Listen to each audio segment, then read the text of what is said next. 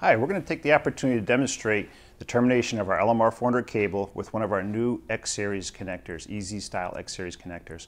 First of all, the tools that are involved in this termination process are the following.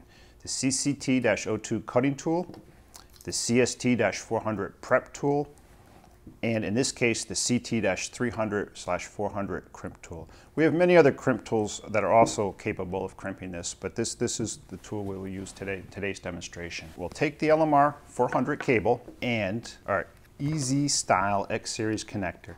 Some of the characteristics of this connector are it's a tri-metal plate, excellent corrosion resistance. It's optimized for VSWR. As you can see, it has some ribs in the back that really help with strain relief and weather sealing, whether you're using an Atom boot in the back or using a WSB 400 boot. Maybe most importantly, with these X-Series connectors, all of the strip dimensions have been unified to work with this tool, the CST-400 prep tool. So whether you're using a straight end, a right angle end, a 7 16 DIN, a BNC, whatever the interface may be, this tool will provide the proper strip dimensions. We're also going to demonstrate our WSB 400 strain relief weather seal boot. And although this cable may look very cleanly cut at this point, we're just going to demonstrate the cutting process because this is a good first step in the termination of any connector. We're going to get a couple inches back from the end of the cable, we're going to apply a little bit of downward pressure on the tool and we're going to spin the tool right around the cable. Not all that hard, but what we're going to do is we're going to scribe through everything and scribe the center conductor and you'll notice that that cable is nice and round. It's a square, clean cut and it remains nice and round. This is an excellent way to start the termination process. At this point, we're going to take just a drop of this biodegradable silicone lubricant, take our WSB 400 strain relief boot, slide it over the back of the cable.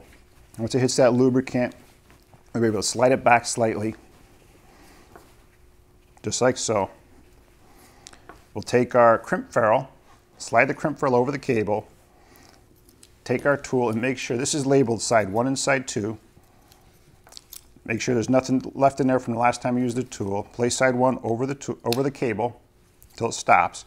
You push down on the thumb switch, and as you're pushing down, you're spinning the tool. Once that bottoms out, make one extra revolution or a minimum of one extra revolution. Leave it depressed and you pull that off the cable. It's going to take that pellet cleanly off. As you can see, you got a nice clean center connector at that point, a nice clean cut on the core. You flip the tool around to side two, and this tool actually has a deburr tool built into the tool itself. So you take that deburr bit, place it over the center conductor, and just a little bit of back and forth, half a dozen back and forths, and you'll see actually see the little material fall away and you'll get a nice clean chamfer on that center conductor. This makes it much easier whether using a solder pin, and in this case we're using a spring finger contact, so the deburring of the center conductor is an important step. We now take the tool, flip, we're, we're still on side two, we place it over the cable, make sure that is set for crimp, and just like an old-fashioned pencil sharpener, we just spin the tool, you'll feel a little bit of resistance, you just spin it till it spins freely, just like so. And that pellet material just falls cleanly away.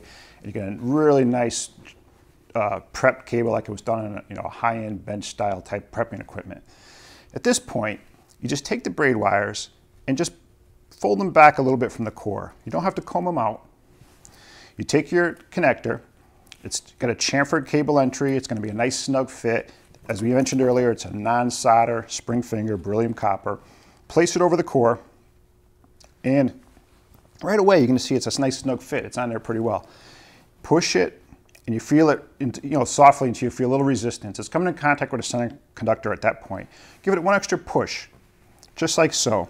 Dust those four fingers, beryllium copper riding up on a center conductor. Now you take the crimp ferrule, slide it forward, and you'll see the braid wires are right where you need them to be. It's a no braid trim design connector. All the X-Series connectors are. At this point, you take a 429 hex. In this case, we're using our CT-300 400 crimp tool. And you want to crimp that once, just right at the very back of the connector. And this is what you want this to look like after crimping. You'll see the back of the ferrule flares up a little bit. You leave that just the way it is. You don't want to crimp that. That's by design. If you crimp that, you're going to crush the, the jacket, crush the cord, change the impedance of the cable. We're almost done. All we're going to do is take one more drop of this material. It dries very quickly of this lubricant. There's ribs in the back of the connector. There's ribs inside this boot. You may even hear them snap over the back of the, uh, the connector. And that's, that's it. You're all set. You have an IP67 seal. You have a very nice rugged strain relief. Tri-metal plated uh, connector for very good corrosion resistance. Excellent VSWR. And because we've used these tools, we've used this cutting tool, we've used this prep tool. It's a spring finger contact, non, no soldering. You're going to see very consistent results if you were to terminate a large number of these terminations using the same method and the same connector. Thank you very much.